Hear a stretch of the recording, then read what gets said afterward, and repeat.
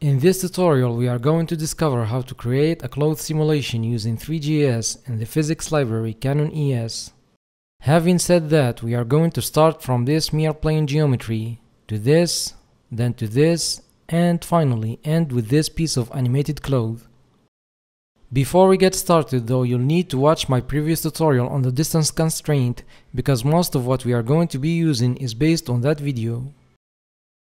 So in that video, the idea was to create a cloth-like object out of a certain number of meshes that are connected to each other using the distance constraint. The problem with that is that we can't fill in the gaps between the spheres to map a texture on that group of bodies as a whole, and that leads us to the idea that we are going to achieve in this tutorial, which is to connect the Cannon particles to the vertices of a single plane mesh instead. So as you can see here we have this plane and sphere that is linked to a cannon body which we are going to use later in the video to see how the cloth will react when it gets in contact with another body and this is the code behind that. Now the first thing we are going to do is comment out the code related to the animation in the creation of the sphere as we don't need it in this section. The next step we are going to do is create a set of constants. nx and ny are the number of horizontal and vertical particles that form the cloth. We have also the mass and the cloth size, so 1 here means that the cloth is going to be 1 by 1.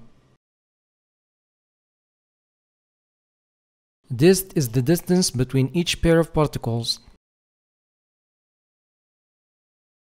We also need an instance of the Cannon particle class and an array that we are going to use in order to link the particles with the vertices.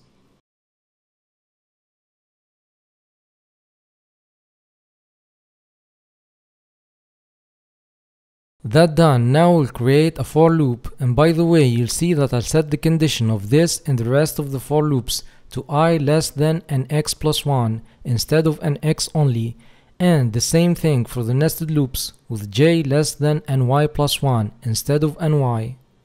This might be a little confusing for now, but it will make total sense when I explain it to you in the next section, so please bear with me. Now we are going to create a subarray for each value of i, which in result will get us a column of bodies, each stored in one array. So basically we are going to have a matrix to store the particles in instead of an object literal. The next steps we are going to do are pretty much the same as we did in the previous video. So we are going to create a body for each particle, set its mass, shape and position, then just save it in the particles matrix and add it to the physics world.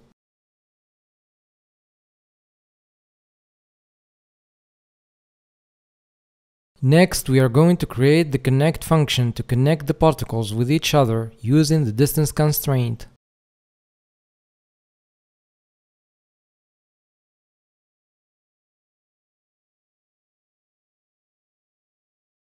And the last step of this section is to use a couple for loops again with i less than and x plus 1 and j less than and y plus 1 to connect the particles the same way we did in the other tutorial.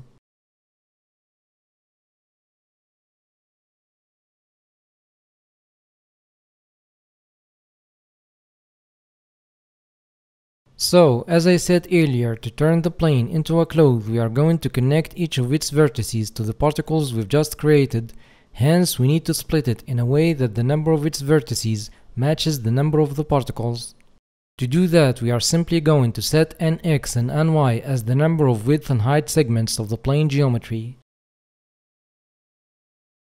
And now we got our plane split. However, if we count the number of vertices in each column and row, we'll get 16 vertex instead of 15, and that actually leads us to the answer to why we use nx plus 1 and ny plus 1 in the for loops. Now, to connect the particles with the vertices, we are going to create a couple for loops within this update particles function. Next, we are going to do the following. First, we are going to create this index variable, and I'll get back to it in just a second. Next, we are going to create a variable in which we are going to put the coordinates of the vertices that form our plane It's an array that each triplet of its elements represent the x, y, and z coordinates of a vertex. The position variable here will contain the position of a Cannon particle.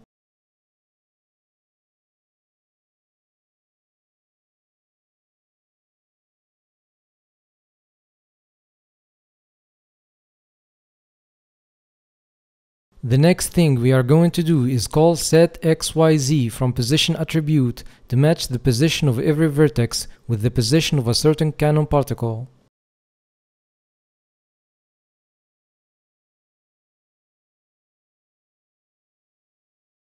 Back to index, this variable represents the index of which triplet of coordinates we are going to update. So if i and j are both equal to 0, index will be equal to 0 Thus, the vertex at the position 0 will be updated. If i is equal to 0 and j is equal to 1, the vertex with an index that is equal to 16 will be updated. Now, why I set ny minus j here? Well, that's because the order in which the particles are stored in the subarray of the matrix is actually set from the bottom to the top. So let's suppose we use particles ij in this case, the vertex with x and y that are equal to 0 will be matched with the last particle, not the first. On the other hand, if we change back the order, we are going to match the first vertex when x and y are equal to 0 to the last particle in the array, which is exactly what we want. Now we'll add this line which is crucial whenever we attempt to change the coordinates of a geometry in Three.js. And we'll simply call this function within the animate function.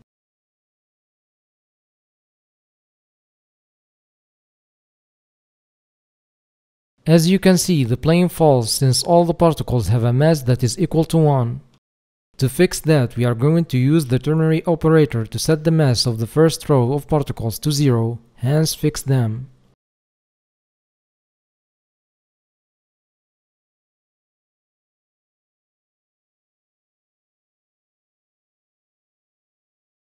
And now we can see a stretch effect on the plane, and that means that it is no longer a rigid plane, but it turned into a soft body.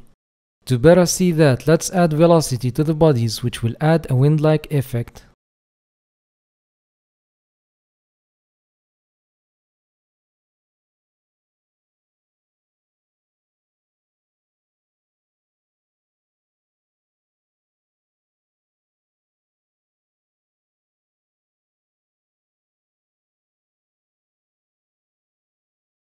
And now let's uncomment the sphere's code and see what we will get.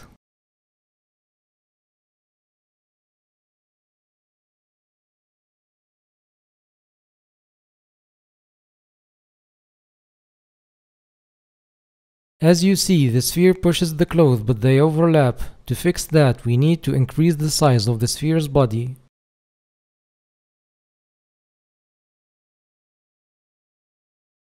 And there we go, we are almost done.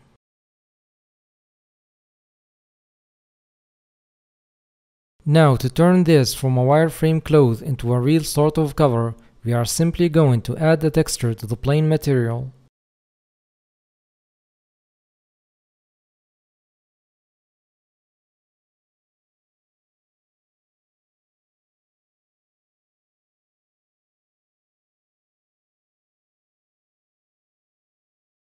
And with that done, we came to the end of this tutorial, so make sure to like and subscribe and I will see you in the next one.